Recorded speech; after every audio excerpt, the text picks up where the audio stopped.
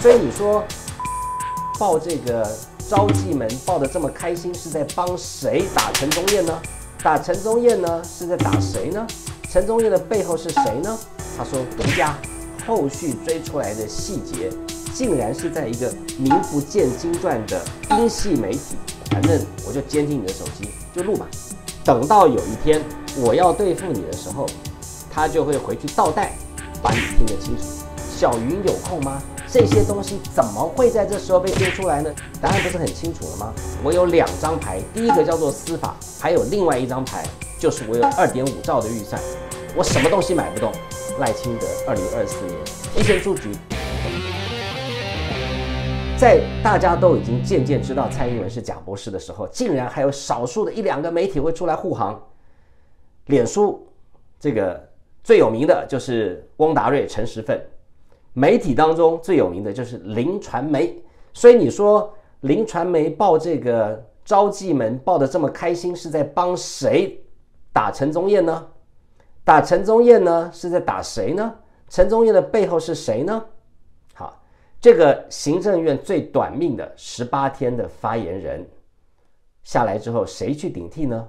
罗秉成政务委员。罗秉成是谁呢？罗秉成是蔡英文用来掌控司法的关键人物啊！你不要以为连元龙是啊，连元龙不是啊，关键人物就是罗秉成啊！各位可以去 Google 一下，了解一下他跟蔡英文的渊源。所以。从蔡同学的角度来看，我好不容易派出了我的接班人圣骑士，哪容得你在旁边放了一个替圣骑士讲话的人，竟然是赖清德的人，当然要把他除掉嘛。陈宗彦就是这样被除掉的。好，我们再往下看，接下来啊，这个林传媒干了什么事呢？他连陈宗彦在赖清德的台南市府当官的时候。被剪掉监听的详细始末跟案外案，连简讯的通讯都全部写出来了。他说独家，没有任何一个媒体写的如此的详尽露骨。你看啊，林传媒独家招妓高官就是行政院发言人陈宗彦，叫小姐的手机目前还在使用。你看这么详细的事情，多久以前的事呢？十一年前吧。十一年前的事啊！再来，好，林传媒怎么说的呢？十七日独家踢爆行政院高官疑似招妓疑云，随即在政坛刮起风暴。这位十一年前疑似招妓又接受性招待的高官，就是新任的行政院发言人陈宗彦。他说：“以上够独家吧？啊，独家。好，林传媒呢，把这些相关的细节全铺露了。好，接下来，好，大家还记得施威权吗？”施威权呢，就是那个蔡英文手下赖幸元在陆委会工作过的施威权，也在朱立伦新北市当过他的官，然后利用他的林传媒写一系列的报道，替蔡英文用可笑的理由辩白洗脱。这位 Allen 说：“他说这样大家应该记忆都串起来了吧？施威权跟他的媒体是谁的人呢？他一定是帮蔡依依的。林传媒不会去弄蔡嫡系的人。”这样事情很清楚了吧？好，他说都差点忘了这个文章的重点是陈发言人的大头贴，然后这个上面写的是什么呢？抓到啊！小云有空吗？头贴藏端倪，撞上陈宗彦脸书贴文照。也就是说，哈，虽然这个案子呢是民众党的委员爆料，可是后面后续追出来的细节。竟然是在一个名不见经传的英系媒体林传媒一个一个揭露，可以揭露出这么详细的内容，各位有没有觉得很奇怪？十一年前的通联记录怎么会被十一年后的媒体爆出来呢？这不是整人游戏吗？十一年前这个所谓的小云在吗的这个现场，那个时候的检察总长特侦组的。主任特侦组的负责人是谁呢？黄世明。好，各位还记得黄世明是以什么战场的呢？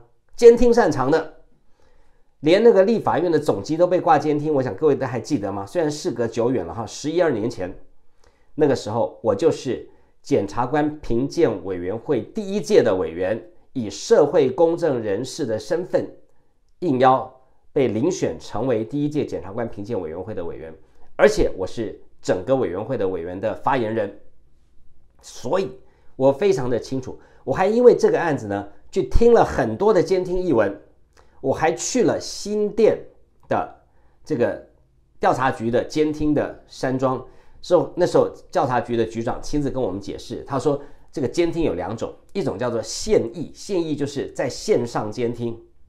通常是用来对付那种什么枪击要犯呐，或者掳人勒赎啦，有那种瞬间的风险的。另外一种呢，就是录下来，录下来以后保存着。比方说，像我相信我这两三年，我所有的档案都被录下来了，录下来就有一个一卷的档案，叫做彭文正监听录音带。因为现在录音很容易嘛，你随便弄个三五个 G 啊，让你录到，你知道一辈子的讲的话都录下来，可能都还用不到。所以呢，他就录着。他管你的，反正我就监听你的手机，我就就录嘛。等到有一天我要对付你的时候，他就会回去倒带，把你听得清楚。这就是今天呢，台湾的整个情治系统对付他想对付的人的一个重要的手法。因为我当过检察官评鉴委员会的委员兼发言人，我去上次那个就是因为一个监听风波，再加上官说，然后后来这个呃就是泄密，后来。这个检察总长黄世明被判刑嘛，对不对？罚了大概七八十万吧。这整个案子啊，它的背后就是证明了一件事情：检调配合情治单位在台湾不知道监听了多少人。他的监听啊，是闲着没事哈，雨天没事在家打孩子那种监听法，就是他挂你的这个手机，一挂挂了三年五年，真的，因为你知道现在。储存空间记忆体根本就不值钱，我随便弄个几个几个 Terry 嗯 byte，很容易可以录你真的就是一辈子讲的话都可以录下来。他们就是这样子玩的。陈宗彦十一年前跟这个这个情色业者之间的对话，小云有空吗？这些东西怎么会在这时候被丢出来呢？谁有能力丢出来呢？答案不是很清楚了吗？好，这个时候。已经是直接指导黄龙，因为，呃，曾经担任过赖清德在台南市府的重要的职务的人，相当于是赖清德的左右手，在现在什么时候不好整，又整一个刚上任十八天的行政院发言人，这个在整谁呢？赖清德，我不知道为什么，我不是在节目中已经讲过很多次了吗？我说赖清德，你不先下手为强，你一定完蛋。彭半仙讲的话，你看哪一句不应验？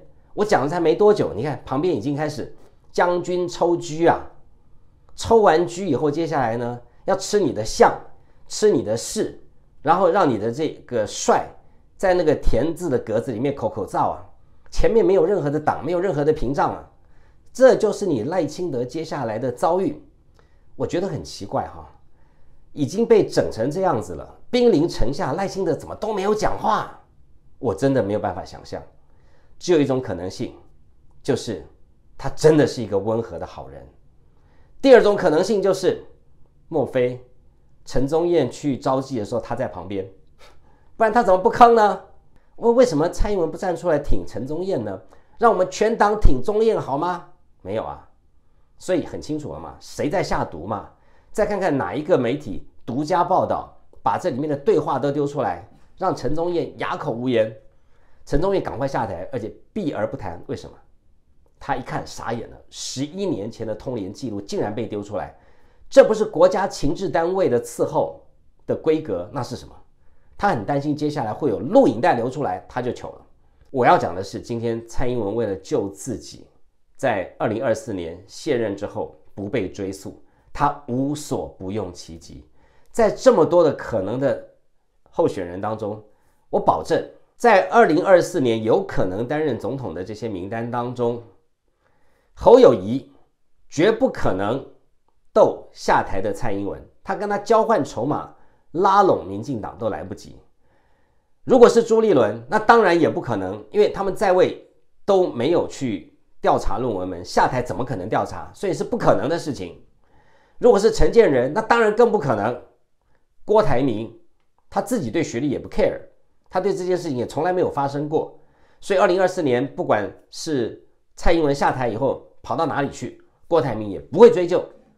唯一一个蔡英文最怕的人叫做赖清德，因为赖清德至于他，他对赖清德做的事情啊，就仅仅次于这个杀父之仇、夺妻之恨呐。我想差别已经非常清楚了。那所以呢，在这样的情况之下，当然当务之急就是要先让赖清德出局。要让他先出局呢，就要先把他的周边的左右手一个一个砍掉，而且用人格抹杀的方式。你看，大辣辣的把十一年前的监听东西都丢出来。其实蔡同学在警告民进党内的所有人，包括国民党内的所有人，我要告诉你们，陈宗彦十一年前是个小咖。连他的招妓的记录我们都能掌握，请问你郑文灿、梁文杰，请问你你们这些人还包括了侯友谊、朱立伦，你们是圣人吗？你们是圣骑士吗？你们的那一些狗屁倒灶的事情，你们知道我手上掌握多少吗？这个就是蔡同学在二零二四年大选当中所扮演的关键性的角色，你别忘了，我很早就讲过，不信你们去倒带看。老师有在讲，你们一定要在听。二零二四年，我不管你们现在的民调是什么，我也不管你谁党掌握什么党机器、什么提名。我跟你讲，我有两张牌，第一个叫做司法，就是蔡英文的这张牌嘛，他现在就已经在用了。蔡英文说，另外我还有另外一张牌，就是我有二点五兆的预算，我什么东西买不动，有钱能使鬼推磨，我就这两张牌。第一个司法恐吓牌，包括我的情治单位。陈宗彦丢出来只是一碟小菜，而且这个菜最有最有震撼力。你说贪渎啊这些东西，可能有些官员他们的手脚是干净的，可是私生活这个部分，不要说是男性官员、女性官员，经得起考验的，我看没有很多吧。而且他把陈宗彦十一年前的赖群组中的对话都拿出来曝光，那么。还有什么东西是他不能曝光的呢？